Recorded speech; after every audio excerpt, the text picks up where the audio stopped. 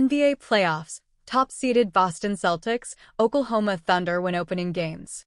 The top-seeded Boston Celtics and Oklahoma City Thunder have rolled to convincing victories in their opening NBA playoff series.